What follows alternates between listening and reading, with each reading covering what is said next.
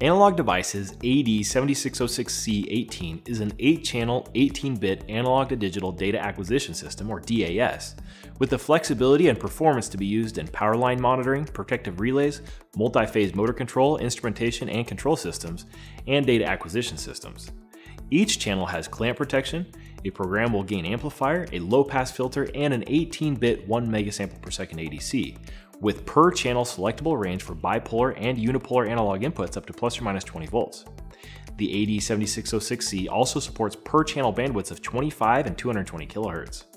The devices offer system phase, offset, and gain calibration, as well as a flexible digital filter, providing excellent performance. It operates from a single 5 volt analog supply and a separate 1.71 to 5.25 volt logic supply, and users can select between a parallel or high speed serial interface.